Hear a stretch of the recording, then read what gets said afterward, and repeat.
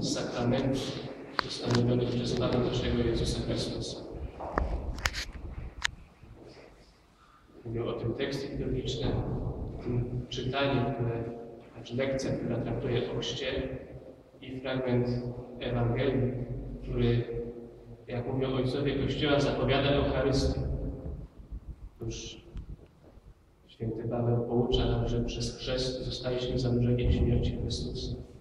Przez chrzest zyskaliśmy udział w naszym odkupieniu, które darował nam Chrystus Pan. Święty Bonaventura mówi, że chrzest jest jak przejście przez przejście przez Morze Czerwone, w którym jesteśmy wsparci laską Krzyża Chrystusowego. I wchodzimy na pustynię, gdzie Chrystus będzie nas karmił duchową manną. Tak przechodzimy do tego, żeby zostaliśmy ochrzczeni. Chrystus karmił nas swoim ciałem. To też dzisiaj Ewangelia powiedziała o rozmnożeniu chleba. Jest to fragment jakby zapowiadający Eucharystię, mówiący o tym, że Chrystus będzie karmił swoim ciałem swój lud przez wszystkie wieki. To rozmnożenie jest jakby tego znakiem, symbolem, zapowiedzią. Wcześniej też w księgach Starego Testamentu mamy pewne zapowiedzi Eucharystii, jak uznają między innymi ojcowie Kościoła, kiedy król Dawid nosi arkę przymierza do świątyni w Jerozolimie, to następnie jest powiedziane o tym, że rozdaje ludziom chleb wszyscy jedzą dosyta. Ale, ale jeszcze y, bardziej wyrazistą zapowiedź mamy w fragmencie, który opisuje, y, który opisuje dzieje proroka Eliasza.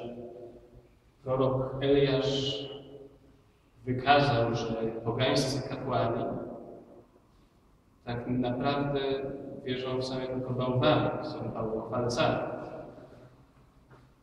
I wykazawszy przez cud, jaki, jaki uczynił przez modlitwę, wytracił to sprowadziło na niego gniew królowej, która, która pogaństwo była współodpowiedzialna za wprowadzanie tego pogaństwa śmiercią. Eliasz załamany złem tego świata ucieka. I ciekawy jest fragment, kiedy zasypia pod drzewem, myśląc, że umrze, i trąca go anioł. Anioł pokazuje mu chleb i dzban wody i mówi, jedz, posił się, aby mógł iść. I jest powiedziane, że mocą tego pokarmu Eliasz szedł 40 dni i 40 nocy. Niektórzy ojcowie Kościoła uważali, że tu już mamy także zapowiedź Eucharystii, ponieważ to dało Eliaszowi siłę, kiedy był przytłoczony złem tego świata, aby iść dalej i pełnić wolę Bożą.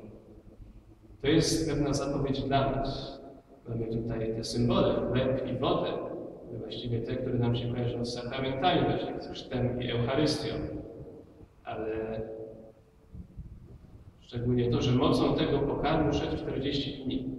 Więc jeśli Eliasz mocą zapowiedzi, tylko symbolu, iść dalej i dalej pełnić wolę Bożą, pomimo wszystkich niedogodności, ucisków, pomimo gruźb, pomimo narażenia się na śmierć, to czyli dla nas to nie jest wskazówka, że ciało, którym nas karmi Chrystus Pan, nie jest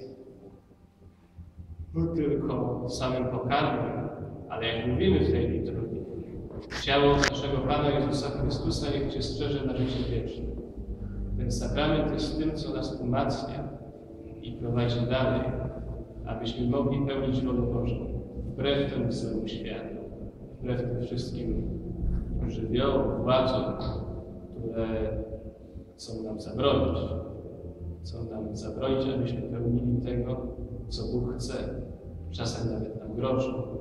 Musimy o tym pamiętać, że w tym sakramencie powinna znajdować się dla nas siła do tego, abyśmy szli dalej w tym świecie, w tym, co nas otacza, tym wszystkim, co jest złe. I jeśli teraz też jakoś celebrujemy to, że jeszcze jeden kapłan został poświęcony i będzie udzielał jeszcze raz błogosławieństwa prymicyjnego, to właściwie nie tylko dlatego, nie dlatego, żeby się cieszyć tym, że mamy kapłana, ale dlatego, że są następni, którzy nam będą rozdzielać te dary. Abyśmy mocą tych darów mogli iść dalej. Amen. W imię Ojca i Syna i Ducha Świętego. Amen.